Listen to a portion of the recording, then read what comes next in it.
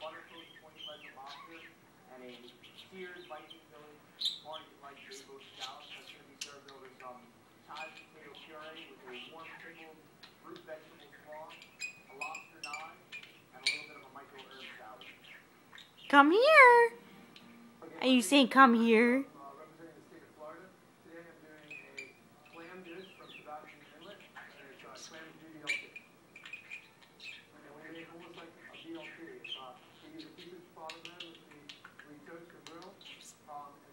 Yes.